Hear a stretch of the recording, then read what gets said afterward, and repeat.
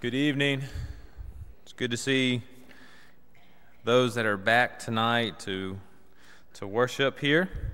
Mindful of those, of course, that are not with us. We have some for various reasons who are not, some who are sick, some who are home recovering. Mindful of those and praying for them. Some who are traveling, also praying for them as well. Good to see you. If you're visiting with us, thank you for being here with us tonight, and those also online worshiping with us tonight. If you want to use your book, I was not told if it'll be on PowerPoint. I assume it may be. Our first song tonight will be 205. Charles Nash will lead our singing when we begin. 205 will be our first song. Jill Nash, Charles told me, is doing very well, home recovering. David Nash is still trying to recover from shingles. He's had it for a while, so continue to remember David Nash and all of his um, health issues in your prayers.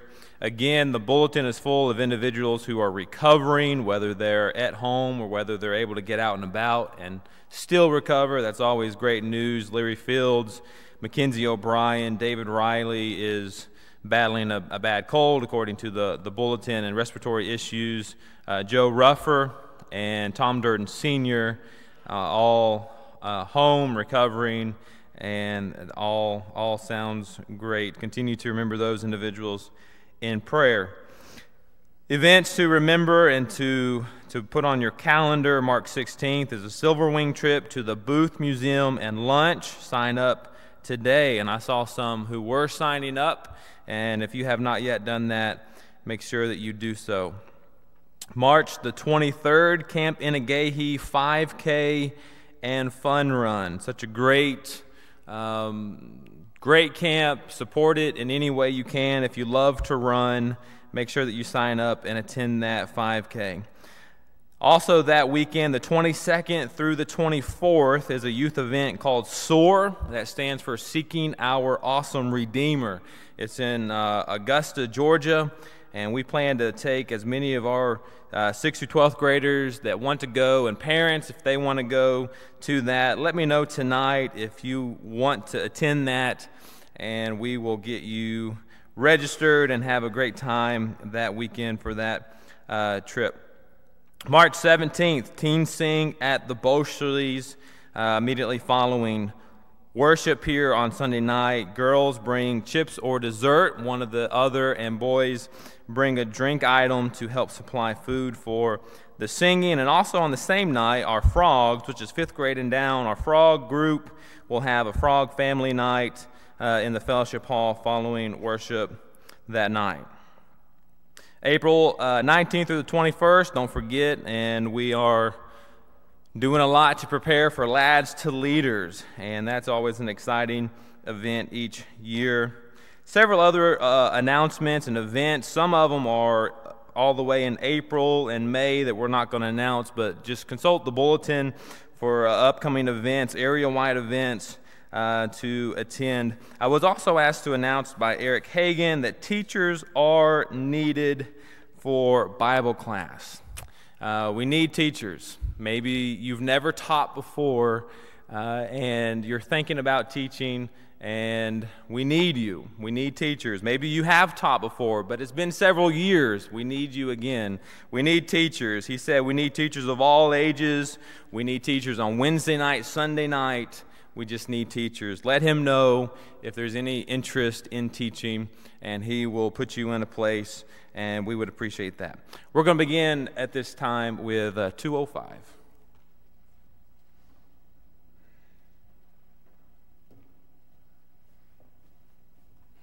Number 205 as we begin our song service. We'll sing the first, third, and last verse of 205. Once from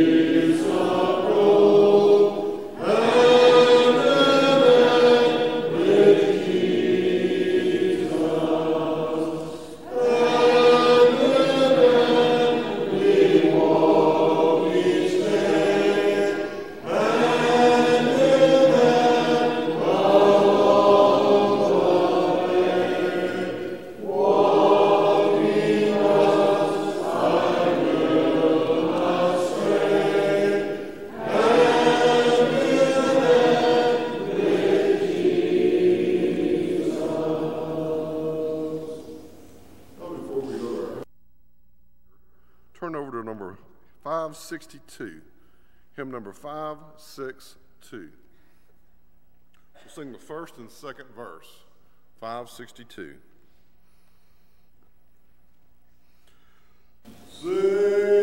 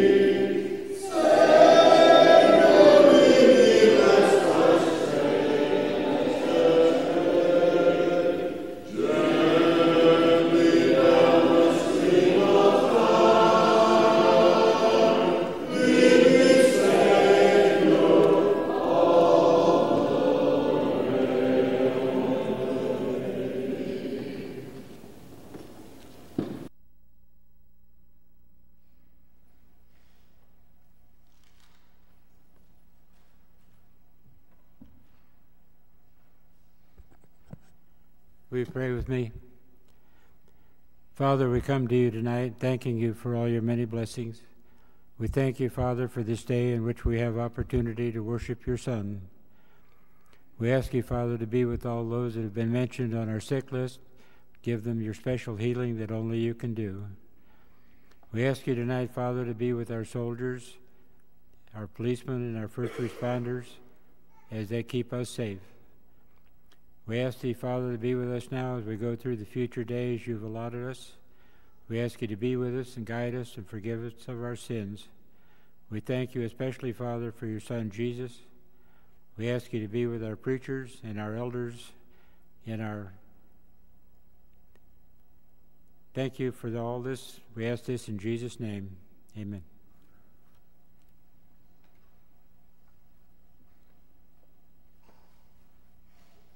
At this time, if you'd like, please mark in your hymn books number 739. Hymn number 739 will be our invitation hymn after this evening's message. 739. After you've got that mark, turn back number 716. 716. Now I got to ask, if it's convenient for you, would you please stand with me? 716.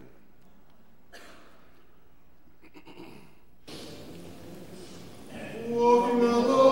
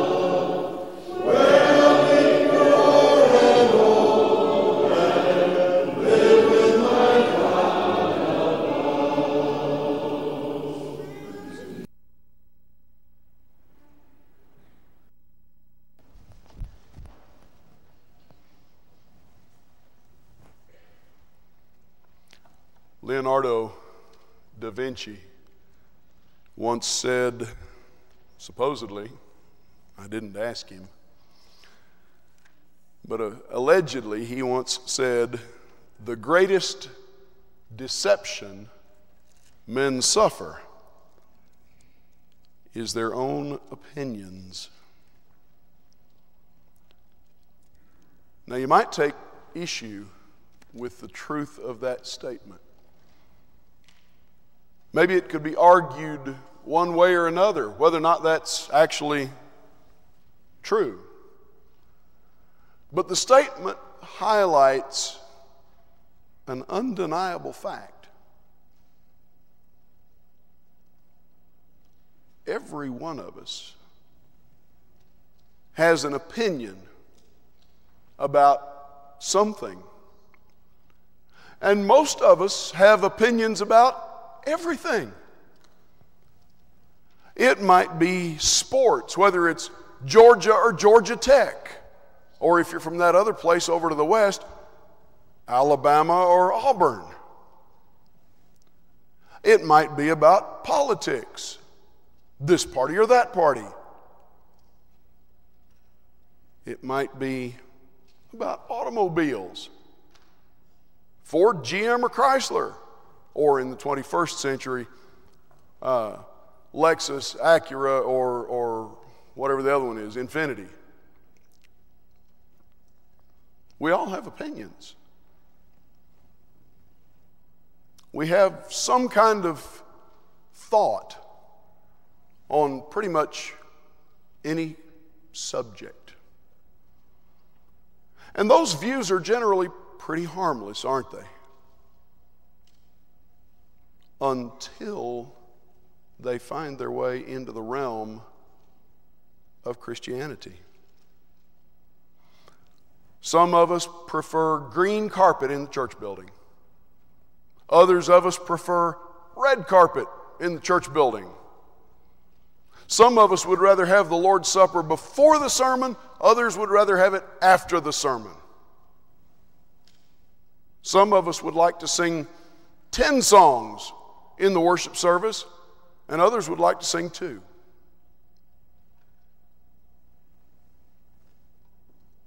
God has given us a measure of leniency in matters of opinion and matters of judgment. Paul wrote about exactly those kinds of matters in Romans chapter 14, 1 Corinthians chapter 8. But that leniency, that give, that, that do what you please, can only go and must only go so far.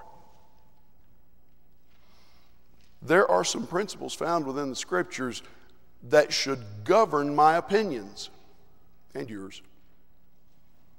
Let's take note of a few of them tonight. First, I have a responsibility. We all have a responsibility to distinguish between what are actually matters of opinion, what I think about something, and matters of doctrine, what God says about something.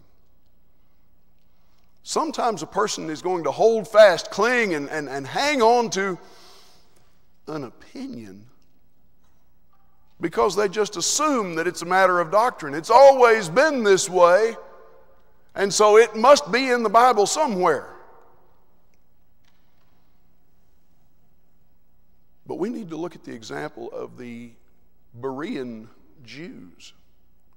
Take your Bible and turn to Acts chapter 17. The scriptures won't be on the screen tonight, so pull out your phone and boot up your Bible program or your iPad or your tablet or whatever, or if you have one of these things, get it out. And look at Acts chapter 17. In Acts chapter 17, the Apostle Paul had come to Thessalonica, which is a city in Greece. He'd gone to the synagogue there because that was a ready made audience for somebody interested in God. And he wasn't very well received there. In fact, they pretty well threw him out of town. You look at verse 10, it says, The brethren there immediately sent away Paul and Silas by night to Berea, who coming thither went into the synagogue of the Jews. So they go from Thessalonica to Berea, and they go to the synagogue to the Jewish community in Berea. And notice what it says in verse 11. These, that is, those Jews in Berea, were more noble. If you have a, a newer translation, it probably says they were more fair minded than those in Thessalonica, in that they received the word with all readiness of mind and searched the scriptures daily, whether those things were so. You see, the example of the Berean Jews shows that, that we ought to search the scriptures to see if our opinion actually is a matter of doctrine. We've always done it this way. It must be what God instituted. Well, how do we know if it is or it's not? Look there and see. Sometimes the question is, is, is then put forward well, how can I tell the difference between the two? If I'm supposed to distinguish matters of opinion from matters of doctrine, how do I tell the difference? Well, that's actually a, a question of whether or not we're actually using a, a proper, a valid hermeneutic, which is the, the principles that we use to interpret and understand the scripture, to see how God has, dare we say, legislated. See what God has to say on the subject. Turn the page there in your Bible to Acts chapter 20. Maybe you'll have to go two pages. And notice in Acts chapter 20, at verse 7, we read, Now on the first day of the week, when the disciples came together to break bread, Paul, ready to depart, preached unto them and continued his message until midnight. He spoke to them and continued to, until midnight. Well, what do we draw out of that? The disciples were gathered. It was the first day of the week. They had come together to break bread. And in the biblical context, that's not usually a reference to a common meal, but to the Lord's Supper. We do that in worship, don't we? And Paul preached to them, spoke to them, spoke a long time, seemingly. What do we infer from that? What, what implication is there? They did that, we should do that. That's what we get out of that passage. They're an example for us. But notice what Acts chapter 20, verse 7 does not say. It doesn't say anything at all about the time of day they began. You know, we, we look at that and we read, He preached until midnight, and what do we think of? Oh my goodness. They started at 9 o'clock. Man, they missed lunch. They missed supper. That's a long sermon. Boy, I'm glad we don't have sermons that long now. How long did Paul preach? I don't know. What time did they start? I don't know. The passage doesn't say anything about what time of day they began, does it? It doesn't establish a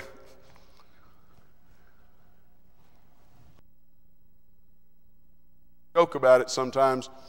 It doesn't establish a scriptural time to begin. It doesn't even say anything about a particular place, does it? Where did they meet for worship? Why, they went to the church house. Uh, newsflash. There's nothing there about a church building, is there? Well, did they sit on pews or folding chairs? Doesn't say. Were they upholstered or were they hard? I don't know. What does it tell us? It tells us that on the first day of the week, the disciples gathered to worship.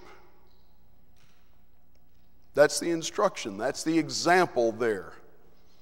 By following the example of Acts chapter 20 and verse 7, what we learn is simply that worshiping on Sunday is a matter of doctrine. That's the example that God has given us. But the time, the place for worship, whether it's in the morning or the evening, whether it's in the, the church building or somebody's house or in a public square. Those things are all matters of opinion because it doesn't speak to the subject at all. So I need to distinguish, I need to recognize the difference between something God has said, a matter of doctrine, and something that we have decided, a matter of opinion. God's word stands. Ours might change. But next, I ought to remember that my opinion is not authoritative. My opinion is not law. My opinion is exactly that mine. Now, my brother over here, David, likes coffee. And I like coffee. But David likes strange coffee. He likes that flavored stuff in his coffee. And that's just wrong. All I want in my coffee is coffee. But you know what? What he does with his coffee is his business. I don't have to drink it, so I don't care what he puts in it as long as it's legal, as long as it's not alcoholic. And he doesn't do that. My opinion is mine. Exactly that. Nothing more. Your opinion is yours. Nothing more. And what that means is that we need to be careful to remember that God's Word, the doctrine here, towers over our opinions in terms of its authority. You remember the words of Hebrews chapter 4 and verse 12? Flip a couple of pages. Go over there to Hebrews chapter 4 and verse 12 and remind yourself there what the, what the inspired writer says about this word. He tells us about the Bible the Word of God is living and powerful, sharper than any two edged sword, piercing even to the dividing asunder of soul and spirit, and of joints and marrow and it is a discerner, it's a measurer of the thoughts and intents of the heart. There are some qualities here in the Word of God that my opinion simply doesn't possess. What I think and what I feel on any given subject is neither breathed out by God nor is it necessarily even profitable what you think, what you feel. God didn't establish that, He didn't breathe that out. That's just your opinion. It may be profitable, it may not. It's just your opinion.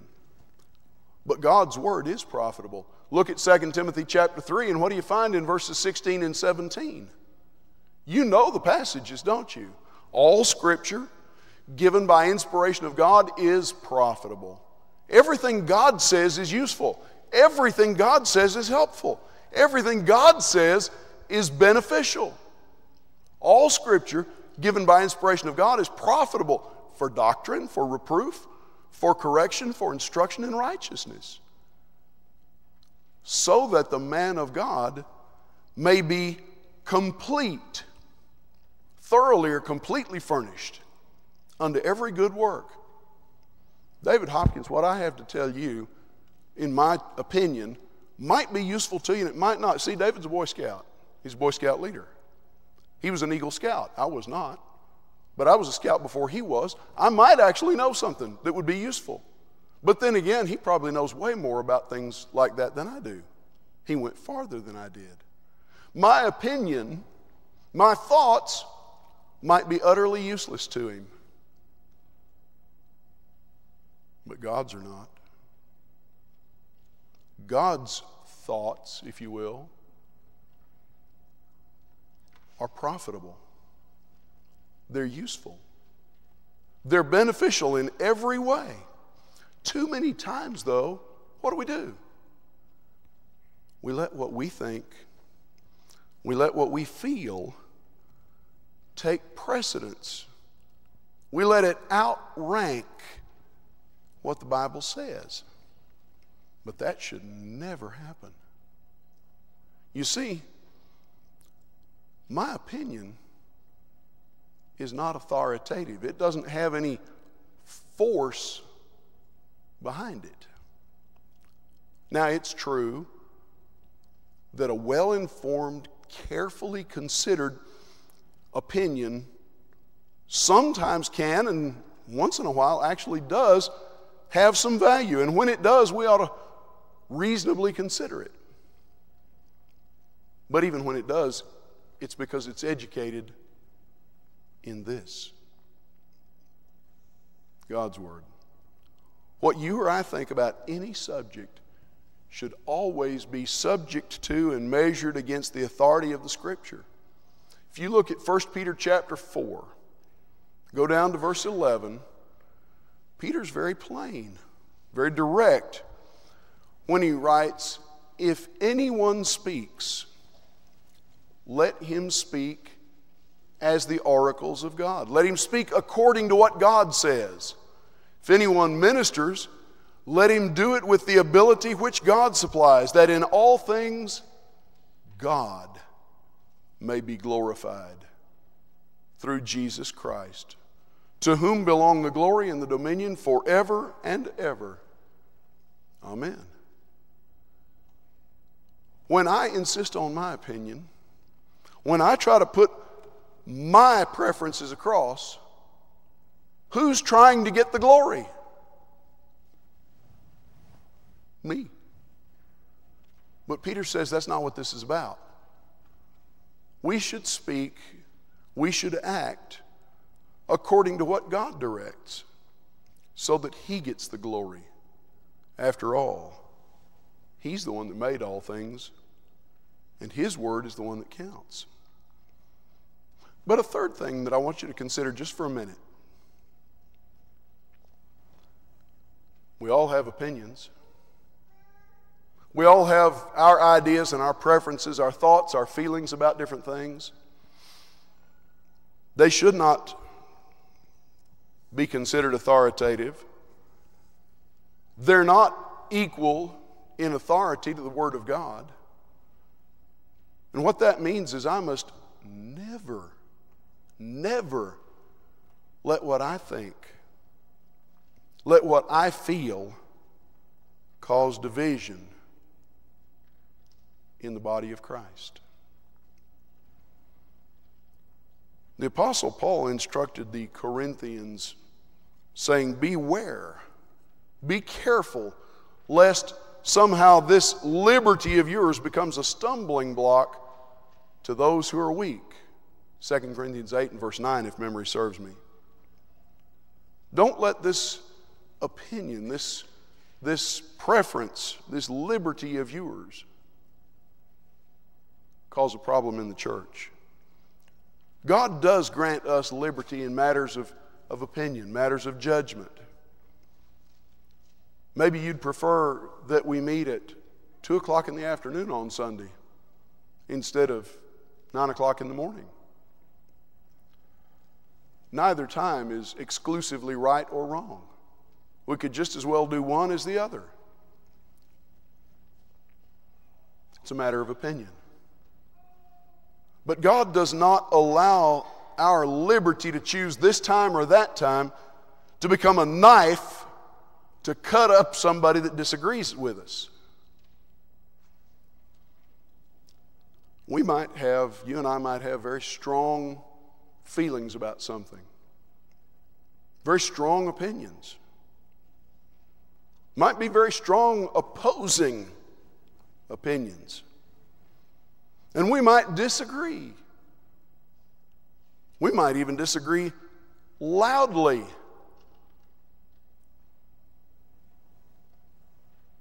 Just go to Ray and Tina's on Super Bowl Sunday and watch the Patriots and the Falcons. And imagine if Larry Rose is there. it might get a little loud.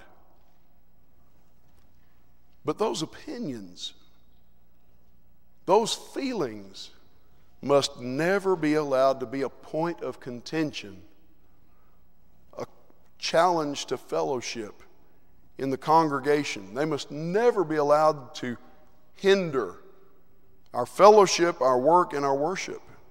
What this means is that I have to be humble enough. Each one of us has to be humble enough to recognize that not everybody's going to agree with my opinion.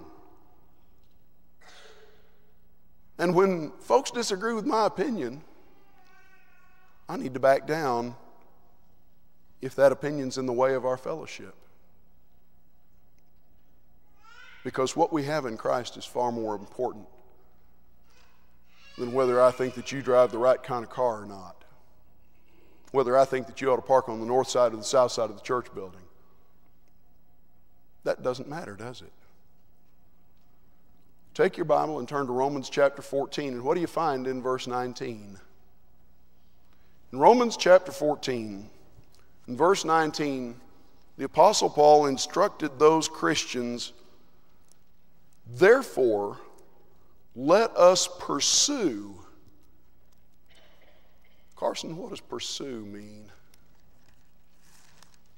To pursue something means to chase after it, doesn't it?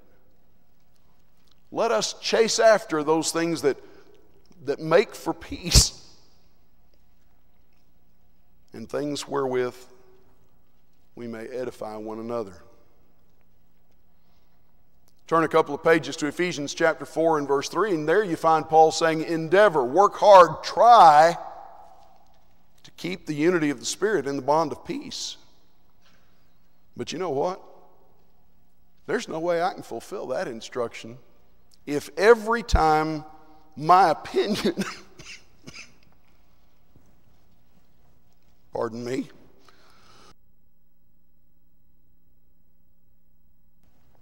I feel better now. There's no way that I can fulfill that instruction if every time somebody disagrees with my opinion, I get mad. There's no way that I can keep the unity of the Spirit in the bond of peace if every time somebody disagrees with me, I'm just going to throw up my hands and pick up my toys and go home because I didn't get my way. You see, those things cannot be allowed to stand in the way of our fellowship, our work, our worship. Now, if you go back and, and study religious history in this country and in Western Europe, you find that about 200 years ago, there was a movement very prominent in this country in the religious community to just throw away all of the trappings and the creeds and the doctrines and the practices of that denomination and that one and that one and that one and that one. and just take this. Go back to the Bible and just be what you read about there. There were a lot of folks that looked around and said, We don't agree in religious things. And that's clearly not what Jesus prayed for. He prayed that we may all be one, John 17. We just go back to the Bible and let the Bible be our guide. And out of that movement, out of that sentiment, came a, a statement, a slogan, a, a philosophy, if you will, on a practical level that said, in matters of faith, unity. In matters of opinion, liberty in all things charity, which is the King James word for love. In matters of faith, in things where God has said what to do, we need to be united. In matters of opinion, in matters where God has said, in, in essence, you can do what you please. You can choose what time you meet on Sunday. You can choose whether you meet under a tree or in a church building. You can choose whether you use songs on a screen or songs in a book or songs learned from memory. In all of those things, liberty. You can do whichever one suits you. But in all things, love. Kept within a biblical context, that idea In matters of faith, unity. In matters of opinion, liberty. In all things, charity. Keep that within the context of the Bible, and that's a perfect description of how each of us ought to view our own opinions and feelings. They can never be allowed to rise to the status of doctrine, to be so important that I'm willing to let them cause a problem between brethren because I want to have my way. It's not my way or the highway, it's God's way or no way. And God's Word, not what I think, not what you think, God's Word establishes what's necessary for any person and for every person to do to receive the blessings, the promises that He offers the forgiveness of our sins, the hope of an eternal home in heaven with Him. And it's His Word that says that when we hear it and understand it, we need to believe it. It's His Word that says that we need to repent of sins and not walk in the sinful ways of the world anymore. It's His Word. It's not a formula that somebody got together and dreamed up or voted on years ago. It's what the Bible says that we need to confess our faith in Jesus Christ. Remember what Paul wrote in Romans 10 with the mouth, confession is made unto salvation. It's not our tradition or my opinion or something that we chose. It's what the Bible says that when we come to that point, we need to be baptized into Christ. Not into the church of Christ in the denominational sense, but into Christ, into the body of Christ for the forgiveness of sins, and then walk in newness of life. You see, these things are not matters of opinion, they're matters of doctrine because they're what God said. We have the privilege to repeat them. But God's word always, always, always outweighs what any of us think or want or feel. And so God has said, here's how you obtain salvation. Here's what you do to keep it. You walk uprightly, you, you live righteously, you repent when you go astray, and you come home and you ask forgiveness. But you don't let these things divide you from each other, because if you do, they'll divide you from me. God's word is the authority. Our opinion never is. Let's keep the two separate and walk in His way. If you need to answer the gospel's invitation now, Charles is going to come. We're going to stand together. He'll lead us while we sing. We want to encourage you. If we can assist you, if we can help you in some way, if we can serve you in some way, if you'd like to be identified with the, the congregation here and work under the oversight of godly, faithful elders, just like the biblical pattern establishes. We want you to know it's a convenient time to, to express that desire. If we can help and serve in some way, come now. Let's stand together and sing.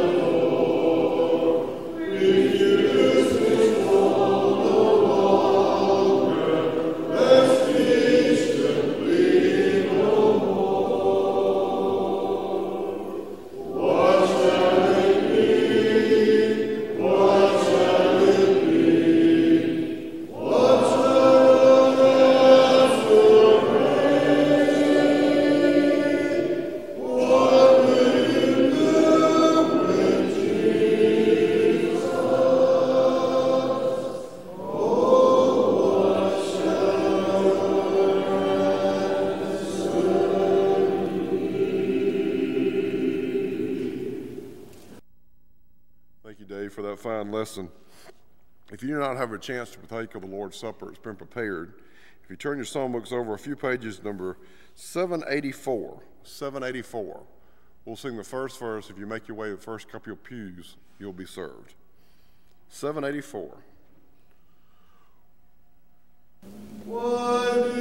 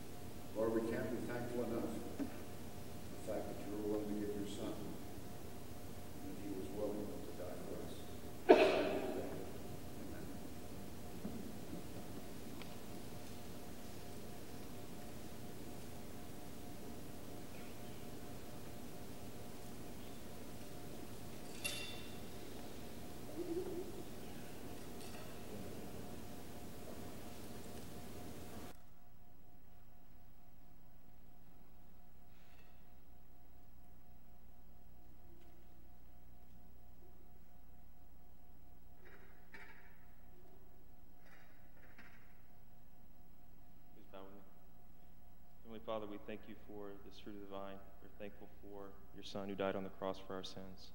Heavenly Father, when we do this, we are reminding or mindful of the sacrifice that was made for us. And for that, we're ever grateful. We ask and pray that we do this in a way that's pleasing to you. In Jesus' name we pray. Amen. Amen.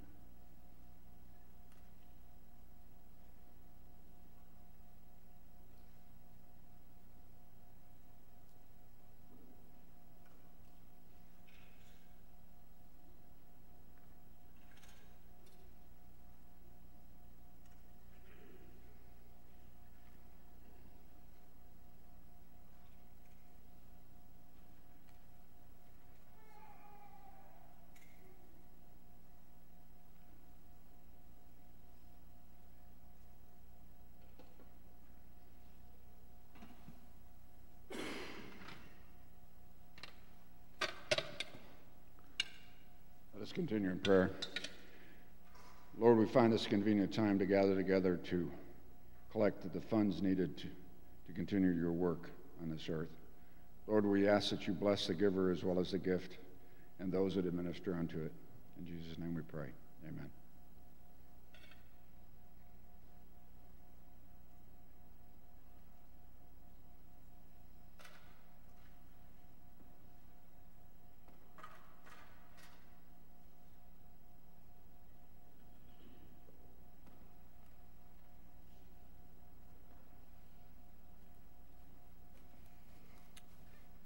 Let's stand at this time. Do we have any other final announcements to either be made from our elders or anything?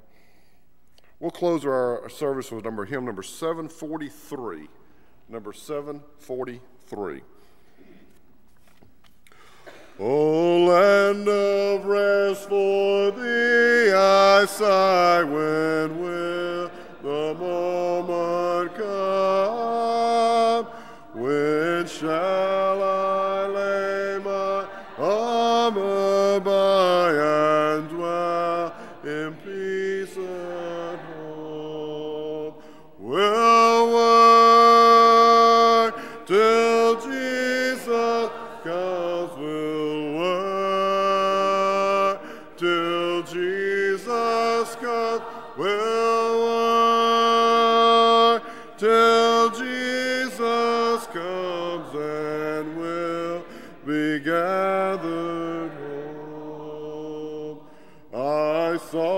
and won my Savior side no more. My steps shall roam. With him I'll break death's chilling tide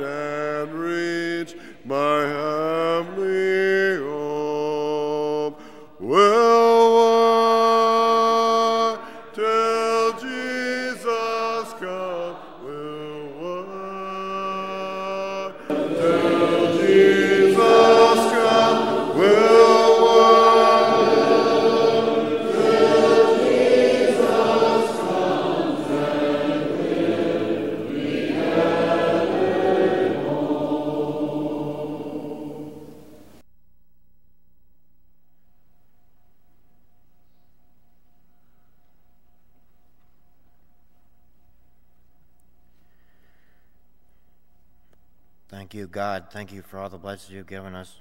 Help us to have a good new week. Help us to do good for the people around us and be good servants. Look into our hearts and hear our prayers. Give us strength and help the people around us to be happy.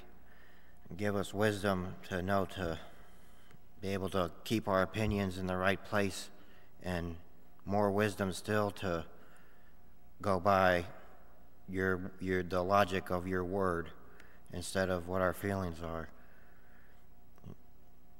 Help us to have a good new week. In Jesus' name, amen.